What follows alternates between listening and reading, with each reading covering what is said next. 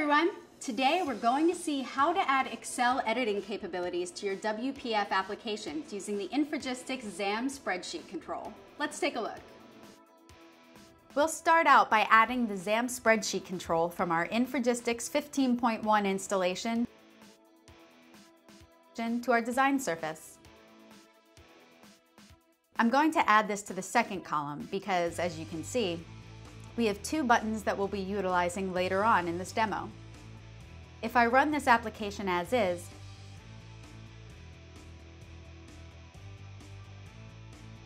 you'll see that we have a grid that looks just like Microsoft Excel.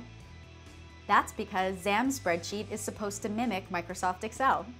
It has all the features you expect, including multiple sheets, sheet renaming, and sheet deleting capabilities.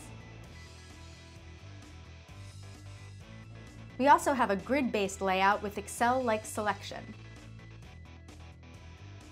as well as a formula bar. In a quick example, I can set a formula for summing A1 and B1. Let's add a value into those cells and you'll notice that C1 updates based on the formula we created. Now that's all fine and dandy, but what we really want to do is add support for actually loading Excel documents, editing them, and saving them back out. So let's go ahead and close this and add that functionality. We'll start by taking a look at the code behind for this view. As you can see, we already have a private variable called file path. Now, this file path is pointing to an existing workbook created in Excel. Let's take a quick look at this sample workbook we'll be using. As you can see, it's a basic invoice template we have some basic information in here. We have data and we also have some formulas. If we update the information, of course, this is inside Excel, so all of our formulas are updated. I'm going to go ahead and close this. What we want to happen is we want to load that information and load that document into our XAM spreadsheet control in our WPF application. In order to do that, I'm going to handle the load button click event. I'm simply going to add a little bit of code that opens a new file stream using the file path that we've already defined. And then I'm going to create a new workbook by using workbook.load, passing in the stream. As you can see, we need to build a reference to our spreadsheet in our code behind. So we have to go back to our view and give the spreadsheet a name. We'll call it Spreadsheet.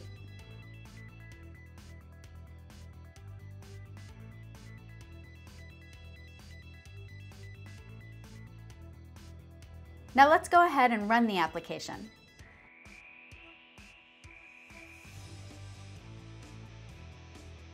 I'm going to click the Load button. And as you can see, the workbook is loaded as you would expect it would load in Excel. We have the same fonts, the same colors, even the same formulas. If I were to click on a formula cell, you can see the formula in the formula bar.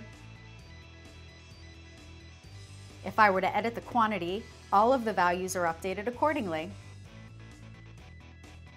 Let's say I want to save these changes back to the original worksheet. To do that, let's go ahead and implement the Save functionality. We'll go to the Save button, click Event Handler, and this one's even easier. We're simply going to take our spreadsheet.workbook and we're going to call Save, passing in the file path that we've been using. Now we'll just run the application again and load the document.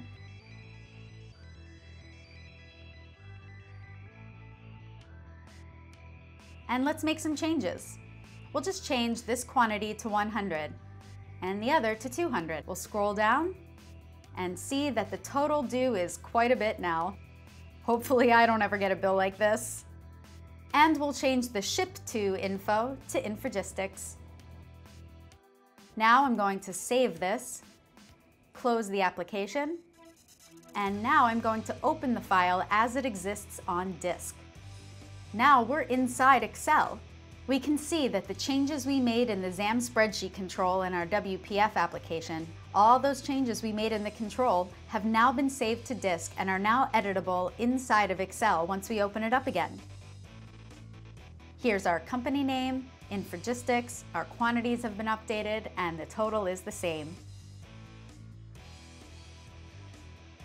To see a completed application that highlights all the features of the XAM spreadsheet control, go to infragistics.com slash sample application slash WPF IG Here you could download our IGXL application with source code to show you what it takes to implement all the features you would expect Excel to have in your own custom WPF applications. And that's it. As you can see, it's really quite easy to add Excel editing capabilities to your WPF applications using the Infragistics XAM spreadsheet control. So go grab your sample source code and get coding.